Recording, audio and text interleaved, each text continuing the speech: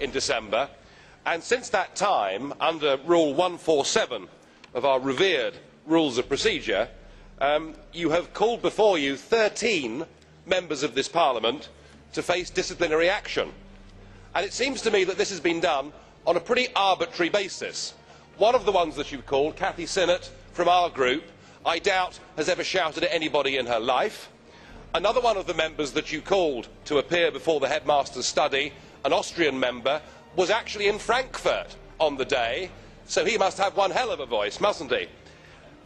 And I ask, why only 13? There were about 80 of us um, involved in these so called disturbances.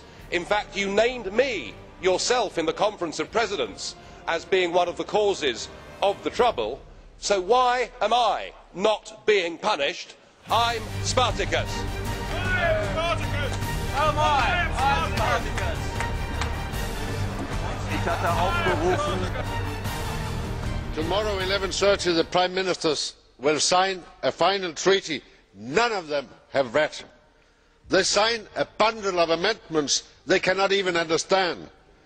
Yesterday the Danish Parliament refused a referendum on a treaty they have not read. They breach the Danish constitution. All negotiations in the IGC and the Linguistic Lawyers Group have been kept absolutely secret towards many Members in this Parliament. First they undo two referendums rejecting the constitution.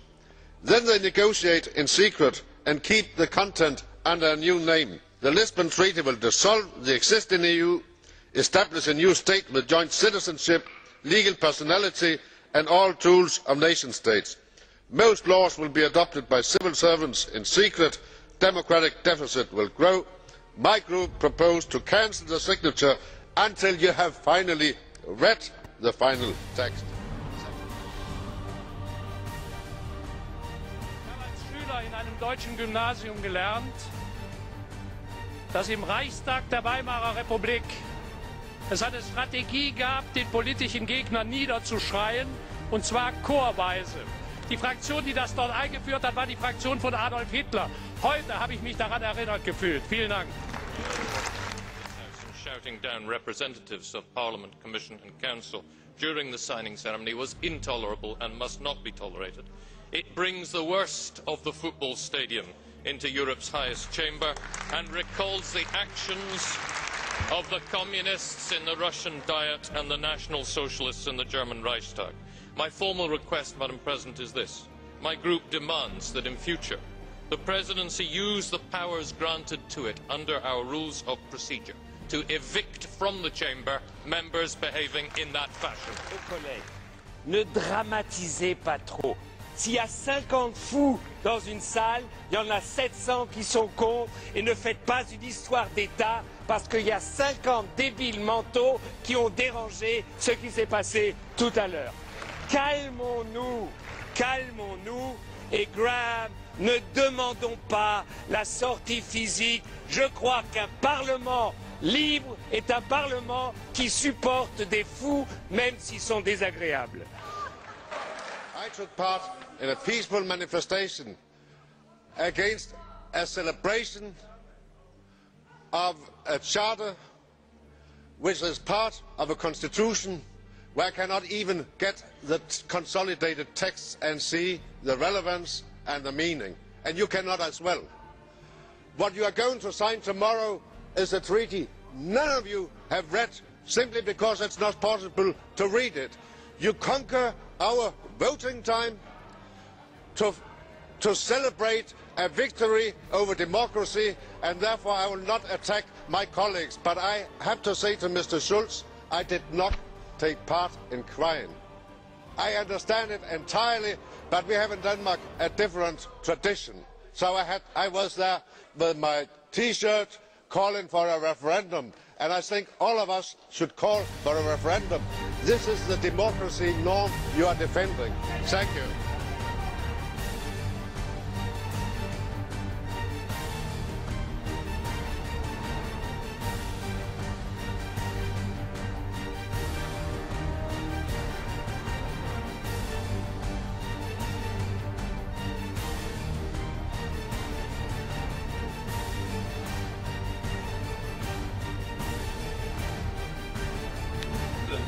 Rule 170, paragraph 4, uh, to make the point that this proposal that we're being asked to vote on gives the President of this Parliament such arbitrary and dictatorial powers that no one that believes in democracy would ever even consider it. But to, but to be asked for us to vote on it when the political groups in this Parliament have not even had time to discuss it, surely, surely cannot be right. And so I ask that this vote is adjourned to the next session in Strasbourg so that people actually get a chance to understand the huge implications of this vote if it's passed. Could it be that the reason you've acted in this arbitrary fashion, tearing up the rule of law, is because you are taking out on us the surrogate contempt you feel for the national electorates who keep voting no on the Lisbon Treaty whenever they're given the opportunity? If I'm wrong, prove me wrong by holding the referendums that you used to support when you thought you could win them. Put the Treaty of Lisbon to the people. Pactio o Mr. President. An absolute majority is not the same as the rule of law. I accept that there is a minority in this House in favour of a referendum, that there is a minority in this House against the ratification of the Lisbon Treaty. But this House must nonetheless follow its own rule books. And by, by popular acclamation, to discard the rules under which we operate is indeed an act of arbitrary and despotic rule. It is only my regard for you, Mr. Chairman, and my personal affection for you that prevents me from likening it to the Ermächtigungsgesetz of 1933, which was also voted through by a parliamentary majority. And I ask this House Will you come not outside? to vote it. Will you come outside? Until we have a chance that. réflexion est intolérable. Nous allons prendre des sanctions internes au niveau du groupe et je vais demander l'exclusion de M. Hanen au niveau de notre groupe.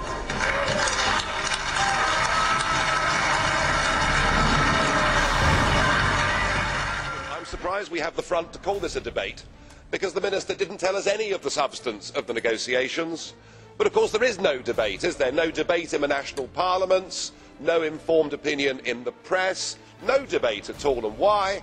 Because this whole treaty is being put together in secret.